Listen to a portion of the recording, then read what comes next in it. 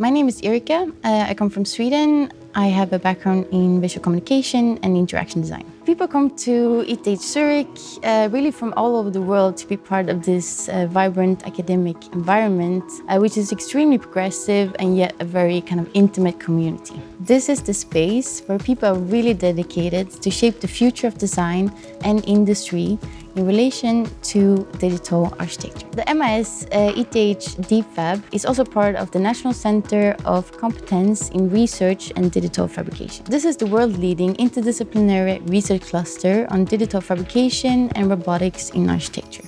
I joined the Master of Advanced Studies in Architecture and Digital Fabrication at the ETH Zurich uh, to really get my hands on the entire workflow from computational design to digital fabrication.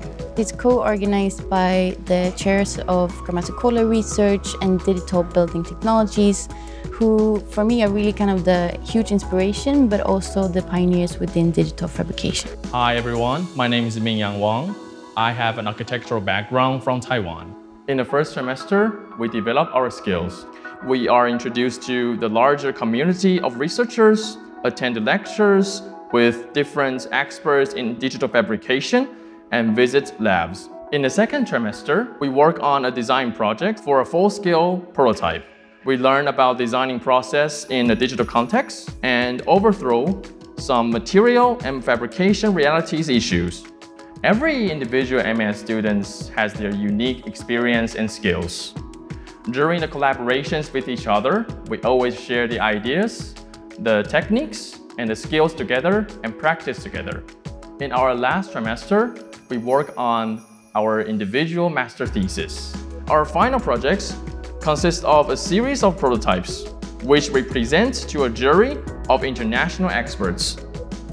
As an experienced architect, the MAS ETH DFAB program showed me a new approach to design anchored in a pragmatic but yet very creative way to address these design challenges. Hi, my name is Muslima, I'm from Kazakhstan and I have a background in architecture. This program allowed me to gain a knowledge of application and control of technology in architecture. While being in this vibrant research environment, you see how technology can positively impact the building sector through the optimization and control of materials in construction. My personal project on ceramic assemblies helped me to explore this material and fabrication-aware design. In the MAS ETH DFAB, we live in a culture of digital thinking. As a student in this program, we have a direct access to the latest research in the field of digital fabrication, which is truly exceptional.